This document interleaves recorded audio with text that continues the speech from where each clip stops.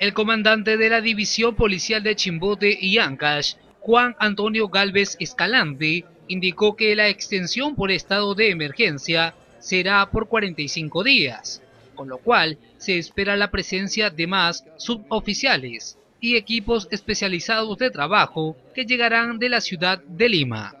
¿Qué otros eh, derechos ciudadanos se han recortado, se han aumentado para este nuevo decreto de se, se, mantienen los mismos. Los mismos. Sí. ¿Cuánto, ¿Cuánto es la extensión?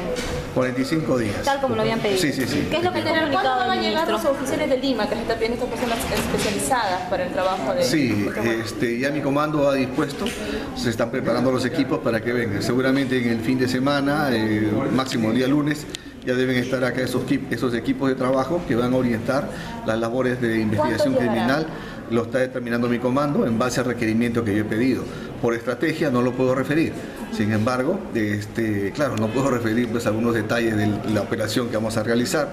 Sin embargo, tenga la confianza de que mi comando siempre me ha apoyado, ya me envió efectivos de distintas unidades y han venido a apoyar el trabajo que venimos realizando acá.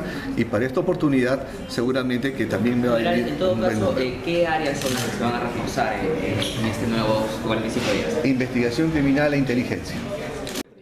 Por otra parte, mencionó que desarrollará más la labor en la captura de organizaciones criminales, por lo que este tema requiere mayor investigación policial, búsquedas y de prevención de actos criminalísticos. Parte, la parte de prevención va a continuar porque está dando muy buenos resultados. Se ve presencia policial en las calles, se ve presencia policial en los accesos y salidas de la ciudad. Este, la parte que vamos a desarrollar más ahora es la parte de captura de organizaciones, criminales. Pero esto nos requiere mucho trabajo de inteligencia, mucho trabajo de investigación. Es por eso que en esos aspectos mi comando me envía personal especializado para poder orientar los esfuerzos de búsqueda y poder lograr la destrucción de estas bandas. ¿Tiene focalizado los sitios donde más se incurren estos actos de violencia? Este, no son lugares donde se están realizando, son organizaciones criminales que se mueven en todas las zonas. ¿El mapa del delito? Sí.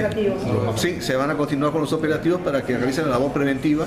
Sin embargo, otros equipos se encargarán ya de la ubicación de estas organizaciones criminales. Añadió también que los 45 días ha servido para mejorar las intervenciones, puesto que aún existen bandas que se protegen hasta con siete abogados, es decir, grupos que saben cómo se maneja la defensa para no ser capturados o buscados. Eh, nosotros tenemos una estadística que habla por sí sola, muy buena, muy importante, porque en 45 días se ha logrado pues, eh, capturas que no se lograban en dos o tres meses juntos anteriormente.